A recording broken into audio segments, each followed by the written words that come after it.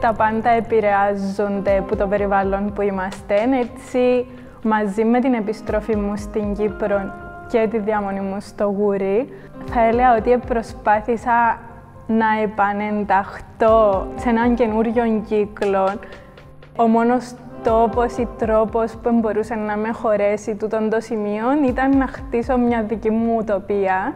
Προσπάθησα ίσως να ξεκινήσω ξανά πιάνοντας βασικά υλικά ώστε να νιώσω κι εγώ πιο οικία για την καινούργια αρχή. Μολύβι σε χαρτί ή μπογιά στον καμβά.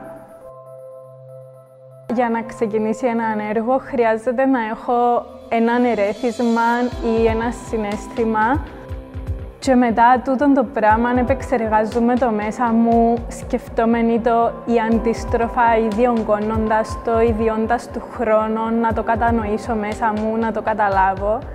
Και αν συμβούν του τα ούλα και ακόμα νιώσω ότι είναι σημαντικό, τότε αποφασίζω με ποιον τρόπο να ήταν καλύτερα να το επικοινωνήσω στο κοινό, ώστε έστω και ετεροχρονισμένα να καταφέρουμε να βιώσουμε μαζί μια κοινή αίσθηση των πραγμάτων.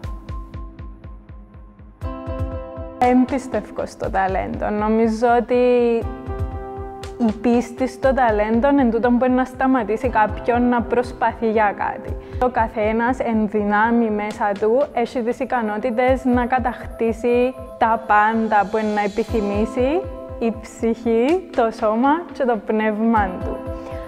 Είναι δύσκολα εύκολο.